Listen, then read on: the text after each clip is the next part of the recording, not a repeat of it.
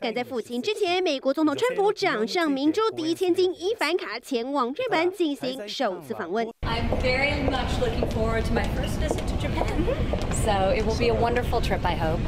伊凡卡周四下午抵达日本，与日本总务相野田圣子等主要阁员会谈。周五出席国际女性会议，畅谈女性创业家甘苦。